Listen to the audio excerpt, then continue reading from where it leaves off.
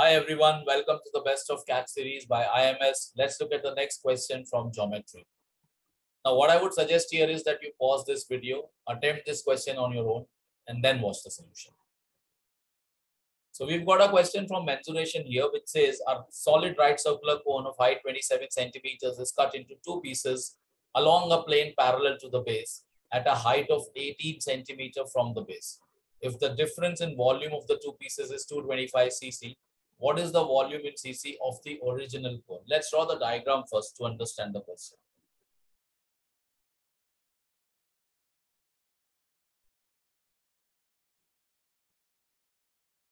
We got a solid right circular cone and we are cutting a piece parallel to the base. The height of the larger cone is given as 27 centimeter. And it is also given to us that we are making a cut at a height of 18 centimeter from the base. Which means I can say that this height of the smaller cone here, this is nothing but 27 minus 18, which is 9 centimeter. let's label this diagram a little bit. So we can say this is A, B, C, P, Q, and let's call these two points X and Y. Okay. Now let's look at the two triangles APX and ABY. Okay. Both the two triangles, both of the both the triangles have got a 90 degree angle.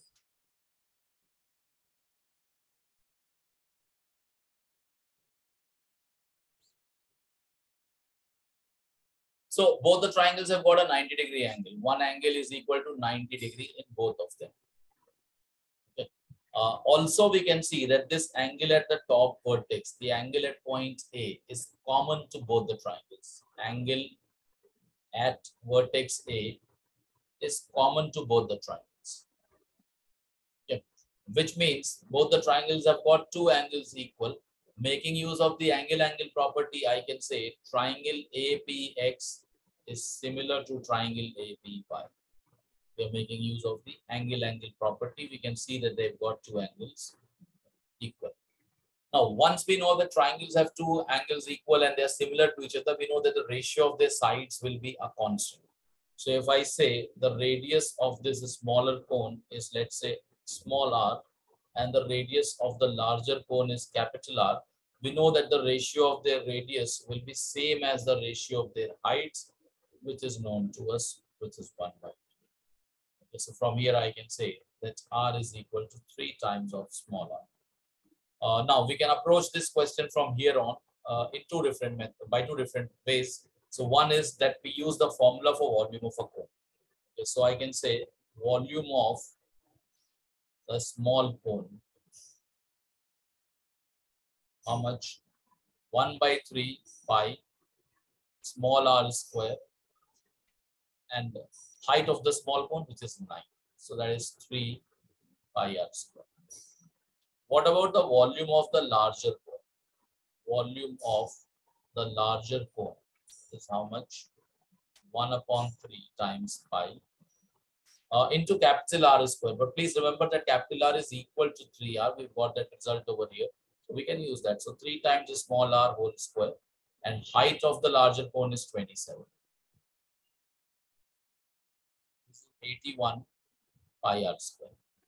Which means what will be the volume of the other piece? The other piece is nothing but PQCB. Once you cut this smaller cone, uh, the remaining portion that I have over here, which is this, is the other piece. So what will be the volume of the other piece? Volume of the remaining piece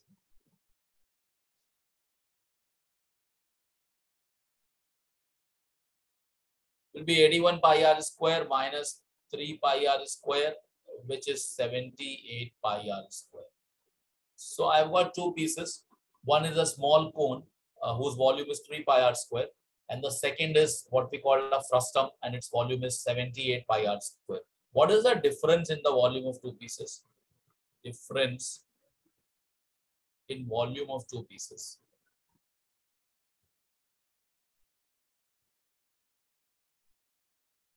So that is 78 pi r square minus 3 pi r square and that is given to us. That is 225 cc. Which means from here I can say 75 pi r square is 225 or how much is pi r square? It is 225 by 75 that is 3. What do we want to find? We want to find the volume of the original cone or the larger cone and that we already have over here that is 81 pi r square. If I put pi r square as 3, I get this answer as 81 into 3, 243 cc. That is my answer. That is my answer. So option 3 is my answer. Okay.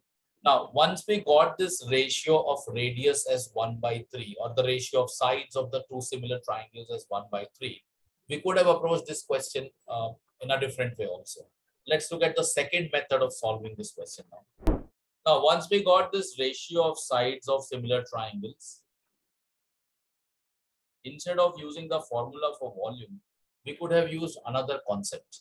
If two geometrical objects are similar, if two geometrical objects of similar shape, same shape are similar, two geometrical objects are similar, if the ratio of their sides is k is to 1, then the ratio of their areas is k square is to 1 and the ratio of their volumes is k cube is to 1. Uh, if we knew this concept, we could have used this concept and got the answer faster. We already know over here that the ratio of the smaller cone, uh, the sides of the two triangles is 1 is to 3. Okay. So based on that, we can say what will be the ratio of volumes of the two of the two pieces or of the smaller cone and the larger cone. So 3 cube is 27. So that ratio of volume of the smaller cone and the larger cone will be 27 is to 1. So I'm saying if the volume of large cone, we are saying if volume of the larger cone or the original cone is let's say 27V, then volume of the smaller cone at the top, volume of the smaller cone at the top is simply 1V, which is V. Okay, which means the volume of the, the second piece, which is the frustum, which is the remaining shaded piece that we've got here, PQCB. So volume of the frustum is how much? That is nothing but 27V minus V, that is 26V. So this is my one piece this is my second piece. What is the difference in volume of the two pieces? What is the difference in volume of the two pieces? So that is simply 26V minus V, which is 25V. And this is given to us as 225. So from here I can say V is equal to 225 upon 25, which is 9. Once we know the value of V, what is required, volume of the original cone is required that we already have over here. So I just put V as 9, 27 into 9 and that is 243. That's the required answer. So this is our required answer. So once we got the ratio of uh, uh, sides of a similar objects, we could have also just uh, extended that to volume ratio will be cube of the sides ratio and got the answer directly without calculating the volume of the smaller cone and the larger I hope you understood uh, the question and the two different approaches for solving this question. I've got a replica question for you. Please attempt this question and leave your answers in the comment section.